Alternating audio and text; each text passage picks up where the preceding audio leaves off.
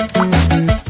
Welcome to Retro Arcade Reviews. My name is John, and in this episode, we will be reviewing the arcade classic Vigilante. Vigilante is a side-scrolling beat 'em up that was developed by Irem in 1988. I remember playing this game for the TurboGrafx 16 and was pretty excited to play it because I didn't have too many games for the system. The other side-scrolling beat 'em ups I had was Keith Courage, which came packaged with the TurboGrafx, and China Warrior. So when Vigilante came around to my place, I was pretty excited to play it. Looking back in retrospect, the game was just so-so. But to me, it was a breath of fresh air to play something different. I always thought the game was purely a TurboGrafx game until I later realized that Vigilante was originally an arcade game. I played the arcade game and found that the port was actually pretty faithful to the original. There wasn't too much production notes about the game other than it's somewhat a spiritual sequel to the arcade classic Kung Fu Master because the gameplay was somewhat similar. In this game, you play as a vigilante who has to save his girlfriend Madonna from a gang known as the Skinheads. Since the law is pretty much powerless to stop them, you have to take the law into your own hands and fight through five stages to rescue your girlfriend from the leader of the Skinheads, Giant Devil. As mentioned earlier,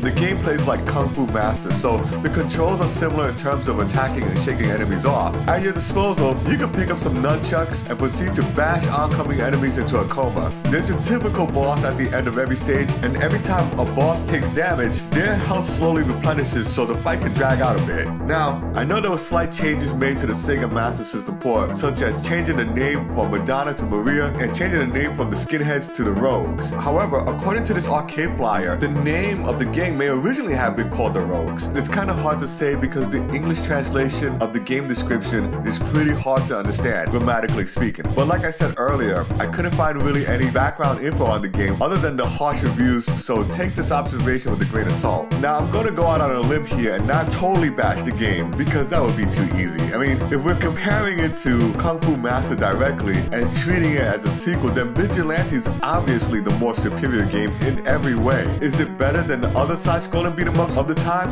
Of course not. And that's the problem with the game. Like Ninja Gaiden in a prior episode, it just comes down to timing. The game just came out in the wrong time, but unfortunately, it couldn't come out any earlier because technically the game is just more advanced. Also, if it is a sequel to Kung Fu Master, then you cannot just create new gaming mechanics for the game because it would have been a different game altogether, especially with a different title. So I feel like Vigilante was somewhat caught in this weird middle ground that made the game somewhat unpopular. Vigilante was ported over to the Commodore 64, the ZX Spectrum, Atari ST, Amiga, the Amstrad CPC, Sega Master System, and the TurboGrafx 16. It was also released on the Wii U console. So if you never played this game and curious what the sequel to Kung Fu Master would have looked like, then play this game and let me know what you think.